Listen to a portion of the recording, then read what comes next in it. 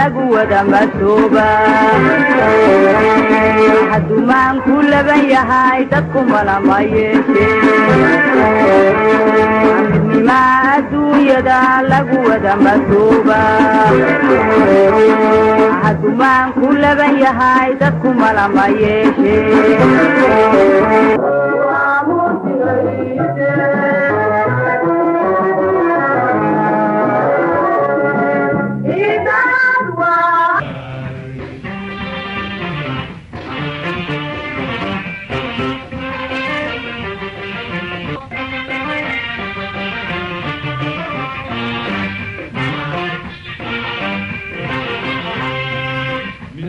midkadaga barjoobe qabiilka ay ku baasheen sida uga bogsoodo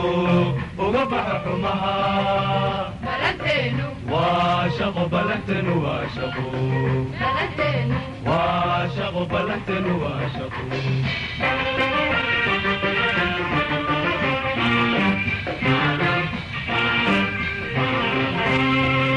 midka dhaga barjoobe qabiilka ay ku baasheen sida uga bogsoodo uga baxa xumaha waa shaqo balantenu waa shaqo waa shaqo balantenu waa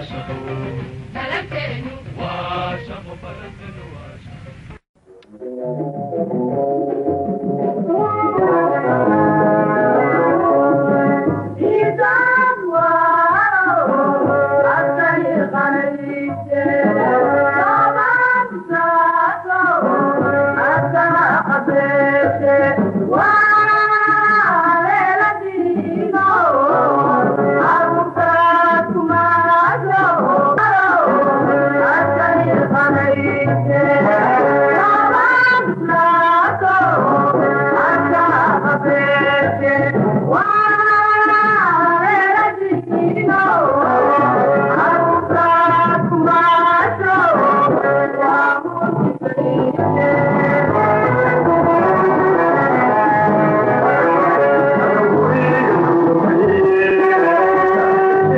Bismillahi raxmaan iraxiim waxaan ku sugannahay maanta mashruuca barqamaal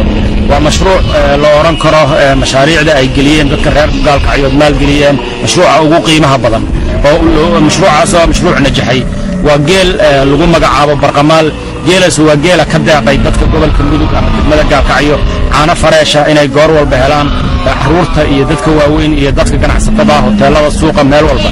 geelaanu waxa uu yahay istaraatiijiyad difaaca deegaanka waxa uu ka shaqeeyaa nabadda iyo isdhexgalka bulshada waxa uu ka shaqeeyaa baadi isku celinta waxa uu ka shaqeeyaa isdhexmarka dalka waxa uu ka shaqeeyaa ilaalinta deegaanka waxaa la odhan karaa waxa uu jiheeyey dhallinyaradii burcadbadeedda ahaan lahayd ama amniga khalqalka gelin lahayd jibnida iyo isbaarooyinka dhigan lahayd ayuu camal u abuuray waxaana laga helay faa'iide aad iyo aad u ballaaran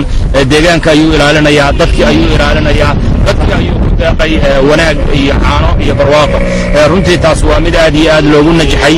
Wuxuu hadda kadib u baahan yahay in la horumariyo sida tusaale in ceelo loo qodo in faamam loo sameeyo in la deegaameeyo in la daaweeyo in warshado caanaha sameeyo oo gasacmoorgareeya loo sameeyo. Si caanaheennii loogu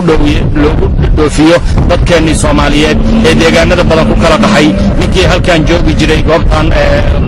gaalkacyood ama dooxada mudug oo caano ka cabbi jiray oo yurub ama ameerika tegay oo aan caano helayn. In caanihii oo halkan fareesha oo laga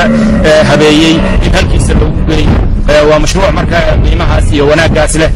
Dadka gaalkacyo labadeeda dhinac degan waxa uu soo celiyey xiriirkoodii iyo isdhexgalkoodii iyo baadidii oo la kala ciyo. Ayuu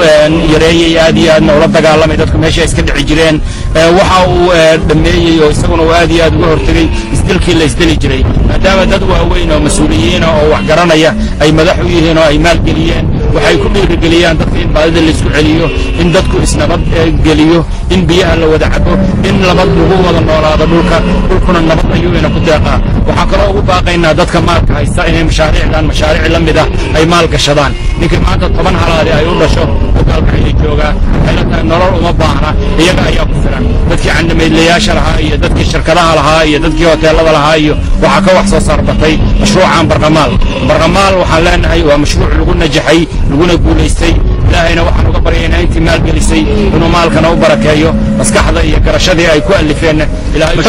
sidoo kale mashruuca barqamaal waxa uu mar walba hirgeliya awaamiirta iyo nidaamka dowladda puntland hadday nabadgelyada ahaan lahayd haddii ay ahaan lahayd siyaasadaha dowladda inay fuliyaan dowladda puntland waxa ay qaadatay mashruuc lagula dagaalamayo bacda iyo caagga. Geela barqamaal waxaa astaano ah hiddihii iyo dhaqankii iyo agaamihii qabada ka samaysnaa ee daawada ahaa ee bakteriyada la dayriri jiray ee fayadhowrka ahaa ee aynu dhaqanka u lahayn. Sidoo kale weelka macdanka ah ee jeegaga ah ayaa caanahooda lagu shubaa markaa kadib waxaa magaalada dadkii ku dhaqnaa carruur iyo waayeelba ay helayaan caano nadiifa oo fareesha oo fayadhowrkooda iyo nadaafadoodu aad iyo aad u sarreeyaan. Waa waxyaabaha uu ku ammaanan yahay geela barqamaal